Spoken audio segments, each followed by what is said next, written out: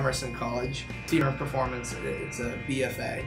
Um, so I'm super excited, and I, I couldn't have gotten here without this. I'm going to Lesley in Cambridge for I'm going to school for music therapy. Um, I'll probably do performances on the side, but I think um, a big part of who I am is reaching out to other people. So from the community services here, I realized that touching people's lives is something I want to do. So I have um, committed to UNH Manchester. My major is biological sciences, and so I'm looking to get all my pre-med credits basically from that school. I'd like to go on and possibly audition for Patriots cheerleaders. Um, or uh, audition for Celtics dancers. And then I would also like to go to Rivier to get my bachelor's in elementary education.